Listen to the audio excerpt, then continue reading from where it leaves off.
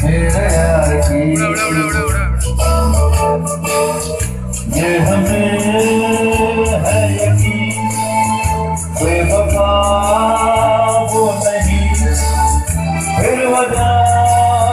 क्या हुई इंतज़ार की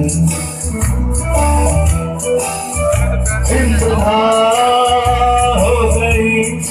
इंतज़ार की